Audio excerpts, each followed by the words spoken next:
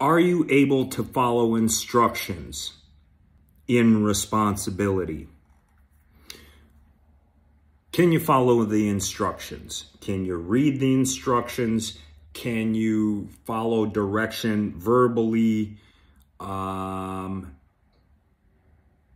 can you follow those? If somebody lays out the instructions for you, are you responsible enough to take those instructions and not feel like, you know what?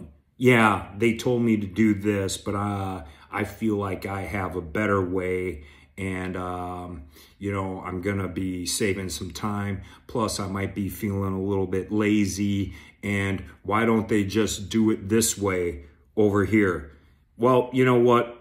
Other people have probably done whatever it is that you've been instructed to do before and the instructions are there because that's the way that it works best tried and true okay take it like this all right, so you eat a piece of cake and it's the best cake that you've ever had. Matter of fact, Gordon Ramsay made it for you and you're like, wow, that's an awesome cake.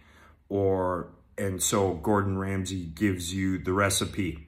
You want to create the recipe. So you got your bowl, you're adding the flour, uh, maybe there's some sugar and you know, everything that goes into the recipe that you read, and then that's the instructions, and then you got your Bundt pan, and you got your oven preheated to 400, and it says uh, 40 minutes or whatever that is.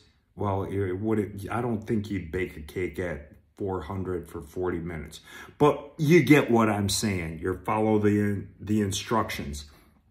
And You're like, well, I want cake right now. So I'm gonna jack up the time or jack up the heat and cook this sucker at 750 for uh, 15 minutes. You're not gonna have the same cake. It doesn't work like that.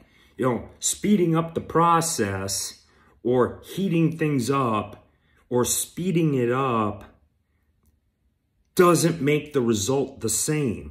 So following, following, uh, Following the instructions is super key and important in responsibility because you're going to eat the awesome cake when you follow the instructions.